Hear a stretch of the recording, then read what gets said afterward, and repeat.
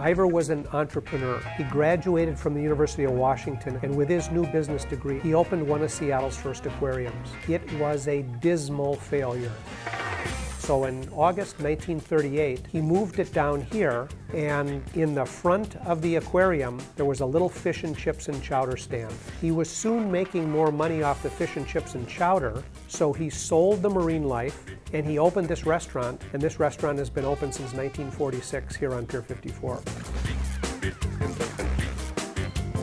Ivar tried to keep himself in the press all the time. So the railroad train that dropped the corn syrup, he had his cook make up gigantic pancakes, and there's that famous picture of him ladling the corn syrup onto the pancakes. Of course, it was front page news in the Times and the PI.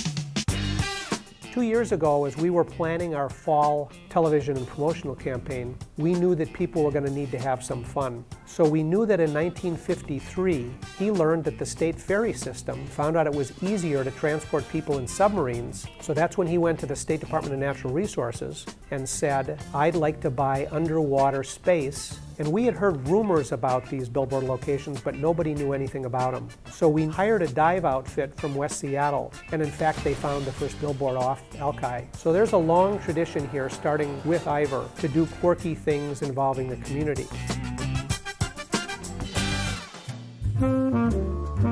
In January 1985, Ivar died, and his five senior lieutenants, they confronted the issue of who was going to replace Ivar as the public face and the spokesman for the company. They interviewed all the ad agencies in town, but the most interesting guy was Terry Heckler. One of the items that he proposed was the dancing clams.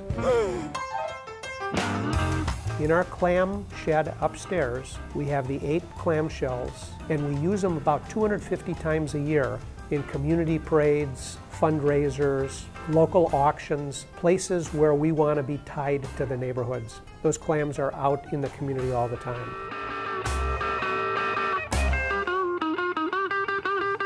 We will continue to be locally owned. We will always have the highest quality product. We will always strive to provide the best customer service we can, and we expect that we'll be in the community for another 72 years. Come on home, divers. Order up.